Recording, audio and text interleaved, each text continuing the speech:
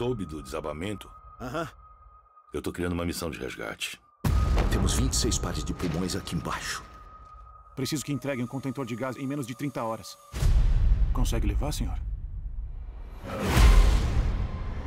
Teve experiência nas estradas de gelo.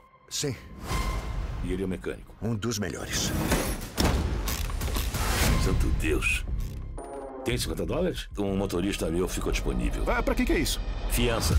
Ah, eu... O quê? Te falei que não ia ser fácil.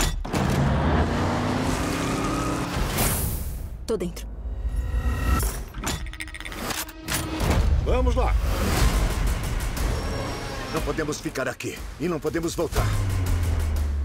Temos que ir em frente. Se eles conseguirem, seremos descobertos. Então é questão de tempo.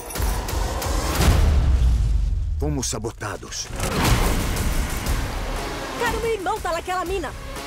Isso ficou pessoal. Agora estou irritado.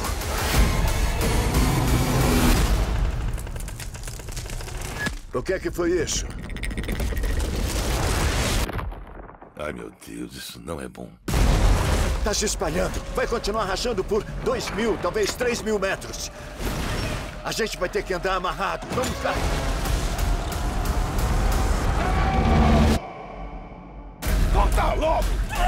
Não vai dar tempo. Mayday! Mayday! Tem alguém me ouvindo? Aguenta firme. Tô chegando.